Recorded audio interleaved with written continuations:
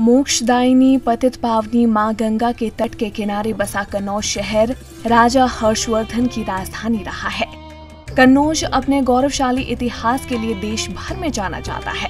वहीं दुनिया भर में कन्नौज अपने इत्र की खुशबू के लिए प्रख्यात है।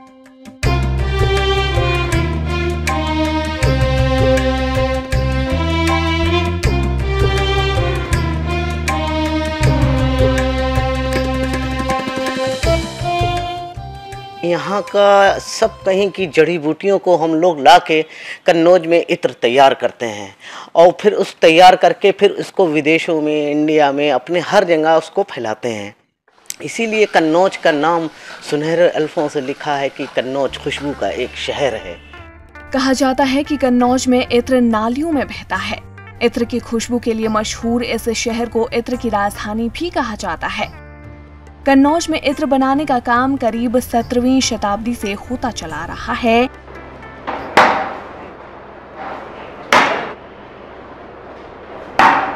ये पद्धति जो पुरानी चली आ रही है उसी ट्रेडिशनल पद्धति से आज भी कन्नौज का इत्र बनाया जाता है और जो उसका सौंधापन होता है जो उसकी एक बेसिक के आ, कहना चाहिए प्रॉपर्टीज़ हैं वो उसकी उसमें इंटेक्ट बनी रहती है।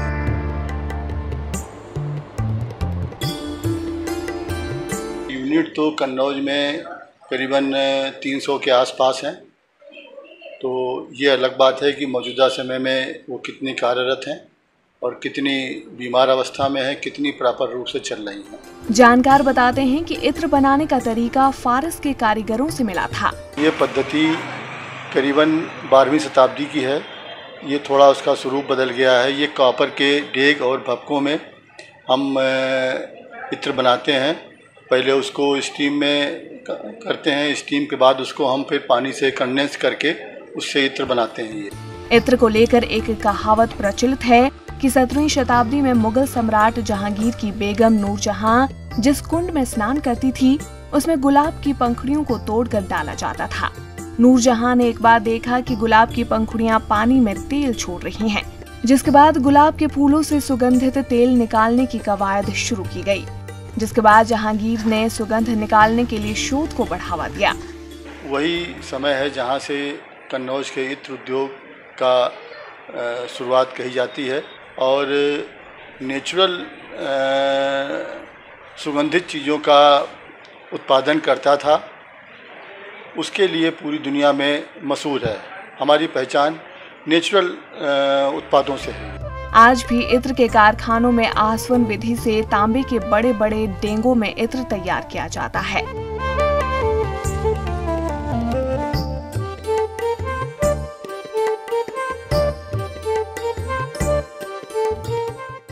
खेतों से तोड़कर लाए गए फूलों को भट्टियों पर लगे विशालकाय तांबे के भवकों या फिर डेग में डाला जाता है। फूल डालने के बाद इन भवकों के मुँह पर ढक्कन रखकर मिट्टी से कसकर सील कर दिया जाता है। ये सब प्रक्रिया होने के बाद भट्टियों में आग लगा दी जाती है। कई घंटों तक आग सुलगाने के बाद भवकों से निकलने वाली भाप को एक दूसरे बर्तन में एकत्र किया जाता है, जिसको बाद में सुगंधित इत्र में तब्दील कर दिया जाता है। जो डेग भपके में हमारा ईंधन के रूप में कंडा इस्तेमाल होता है उस कंडे के बनाने वाले, उससे बहुत सी महिलाएँ जुड़ी हुई हैं इस उद्योग से, जो कंडा सप्लाई करती हैं। कन्नौज में मिट्टी से भी सुगंध निकाली जाती है। यहाँ के कुम्हार एक विशेष प्रकार की मिट्टी, जिसे चिक्का मिट्टी बोला जाता है, उससे लोई बनाकर पकाते हैं, जिसके बाद कुम्हार इत्र व्यापारियों को पकी हुई मिट्टी की लोई को बेच देते हैं। इत्र के कारखानों में पहुँचने के बाद तांबे के बर्तनों में मिट्टी को पकाया जाता है। इसके बाद मिट्टी से निकलने वाली सौंधी खुशबू को बेस ऑयल के साथ मिलाकर इत्र बनाया जाता है, जिसका इस्तेमाल गुटखा व तंबाकू में किया जाता है। विदेशों में जाता है जहाँ ज़रूरत पड़ती है, लोग लगाने के काम आता है कहीं, और अपने इंडिया में भी बहुत खपत है इसकी। मसाला है, गुटखा है, तंबाकू है, इसमें सब लगता है, खुशबू लगाने के काम आती है।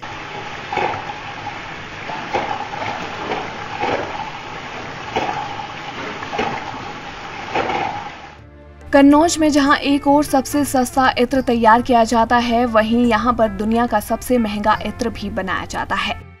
सब अलग अलग है क्वालिटी के हिसाब से, जैसी मांग होती है उस हिसाब से बनाते हैं। महँगे में तो जैसे गुलाब का है रू गुलाब है, आठ लाख रुपए के जी नौ लाख रुपए किलो का है। शमामा लाख, एक लाख रुपए, दो लाख रुपए किलो तक का आता है महँगा। ऊद आता, दहनल ऊद आता है, वो महँगा होता है, वो बारह लाख, पंद्रह लाख रुपए के जी का होता है। ये इत्र असम की विशेष लकड़ी आसमा कीट से बनाया जाता है। इस इत्र के एक ग्राम की कीमत पाँच हज़ार रूपए तक है। वहीं कुछ इत्र के जानकार बताते हैं कि अदरोद के बाज़ार में कीमत 50 लाख रुपए प्रति किलो तक होती है। कन्नौज में सुगंधित तेल की कीमत 25 रुपए से लेकर लाखों रुपए तक की होती है। Bureau report, ETV Bharat. चौबीसों घंटे लगातार खबरें देखने के लिए डाउनलोड करें ईटीवी भारत ऐप।